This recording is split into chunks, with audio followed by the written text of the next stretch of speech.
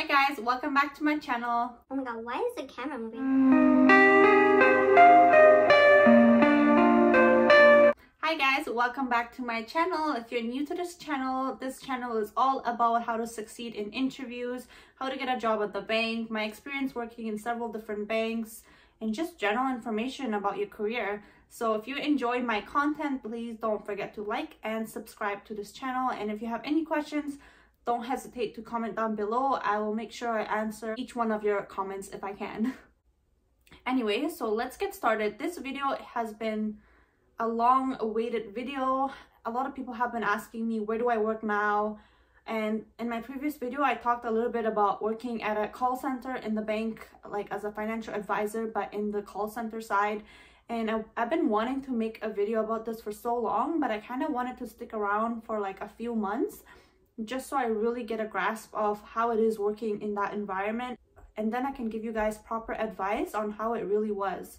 So to start, um, I was working in a call center as an investment representative and basically what my role was was to be on call and I didn't expect this. I didn't expect it to be back-to-back -back calls because I have never personally worked in a call center before and I came from the branch where I saw people like I talked to different people for like 10 minutes at a time and then I had a lot of free time giving financial advice and it was just all chill.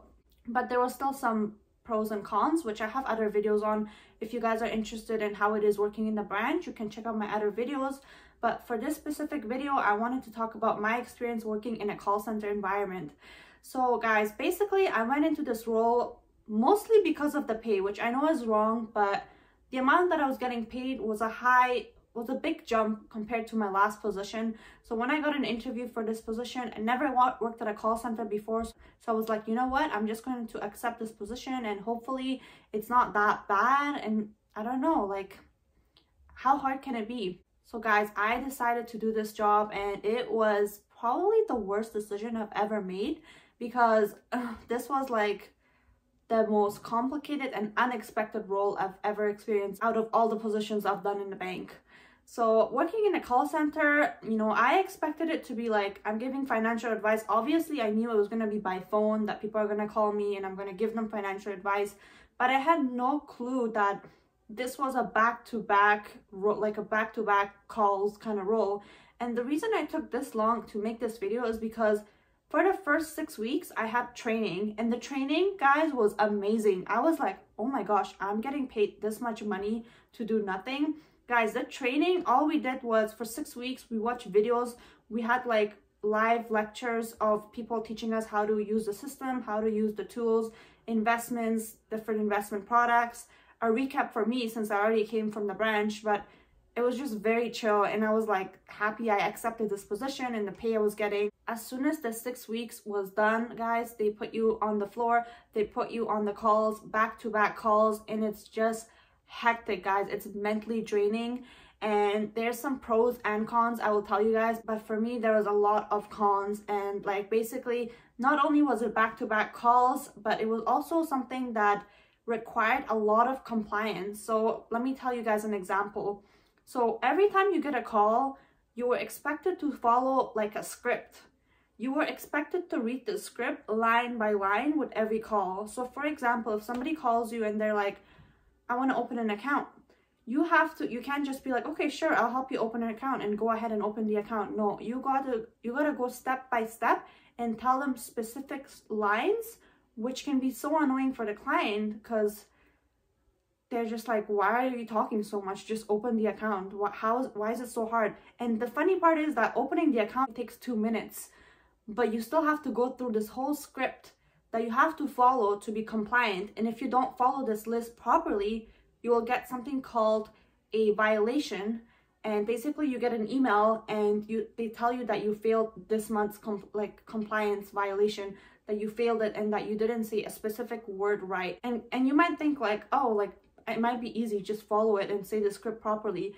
But guys, it, they are very, very strict. You gotta make sure you don't miss one word. So in so let me give you guys an example. So if somebody calls, I was supposed to say like, hi, thank you for calling ABC Corporation investment line. How can I help you? So if by any chance somebody called and you said, thank you for calling ABC Corporation investment line, that's still a fail. You might wonder how because you just said the, same, exact same thing. I didn't. You know what I missed? I missed the the part. So I said ABC Corporation investment line instead of ABC Corporation the investment line. Like that's how strict they were. It was just insane. So if you miss like one specific word, you get a fail for the month. And if you get a, if you fail the first month, it's not like a big consequence. They don't really care. The second month, they start to, you know, be like, okay, like she needs to be compliant. The third month, after the third time, if you keep failing and failing, if you fail for the third time, that's when they will schedule you a meeting with the upper level management and they're going to like they're going to discuss your performance and why you're failing and eventually if you fail more than 3 times you'll just get fired. So it was like so much pressure to make sure that you get every single word compliant and eh, to make sure you get every single word correctly. And not only that, but you have to make sure you authenticate the client before. You have to make sure that you 100% authenticate each and every single client.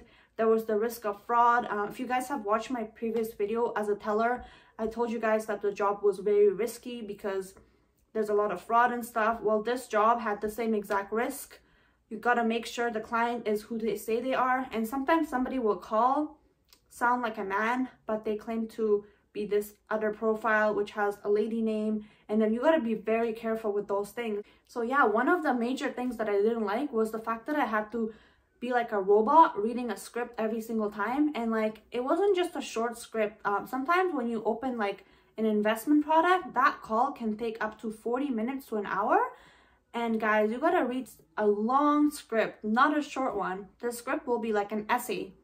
Like you gotta be like, I just wanted to let you know that you gotta, we gotta follow this and this on behalf of this corporation. We're offering you this and this product. And you have to say it each line, each single word. You can't miss it and you gotta say it correctly. Otherwise it's a fail. So yeah, guys, that job was just so stressful. And after the training, I was just like, it was hard for me to wake up and like get on the call because I would imagine like all of those calls that I had to take back to back to back with no breaks and I mean with very little breaks because we got like back to back calls and then you get a 15 minute break and then back to back to back calls and then you get your lunch hour and then you get your other last 15 minute break but it feels like forever like an 8 hour shift or 7.5 hour shift feels like forever because you don't get a minute of break. Like I invest in stocks and I like to look in the stock market because all my money is in the stocks. So in my old job, I had a lot of free time. So like I could just go on my stocks and like, you know, make sure I sell it before the market drops and stuff like that. But in this job, I could not touch my phone, guys. Like I can't answer anyone because how am I supposed to use my phone when the calls are literally back to back? So the reason I got into this job was I thought that even though it's a call center, but since it's an investment representative, I don't need to talk to so many clients or that I don't need to take so many calls because I'm providing investment advice. So how many people want to buy investments or sell investments? I thought that there would be barely any calls because I know that if there's because I know like customer service lines, obviously everyone wants to call because there's so many issues that they have to resolve. But with investments, I was like, nobody's going to call because not a lot of people want to buy investments, right? But it's not just that. People call to sell their investments. People call to complain. People call to yell and be like, why did you put my money into this? Or I went to the branch and this advisor did this. Why did they do this? I didn't want it. So it's not even like you're making sales, but you're just dealing with the bad part of it, which is just like selling it and handling all those complaints. But yeah, this video is getting a little bit long, but I think I'm gonna make a part two where I explain to you guys more in depth about the pros and cons. This video was more about the bad side of it. I can tell you guys a little bit about some of the stuff I did like, but but in my opinion, there's a lot of things I disliked compared to the things that I did like, which I will make another video on that. But yeah, guys, um, overall, that job was not for me. I worked there for eight months and I just hated every day. And I'm so, so glad I am not in that role anymore. And you guys might be thinking, why am I changing so many roles in the bank? Why am I doing different positions? Well, when you're young, it's good to discover all these positions and see which one you like the best.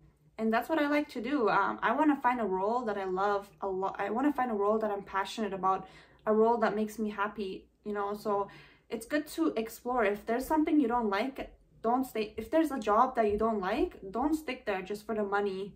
Don't stick there just for a promotion if you don't feel passionate about the job, leave and find another job because guys, there's so many jobs out there and I have another video on how to find a job and I'll be making more videos to guide you guys. So make sure you keep watching this channel and subscribe. Anyways, that's all for today, guys. Thank you so much for watching.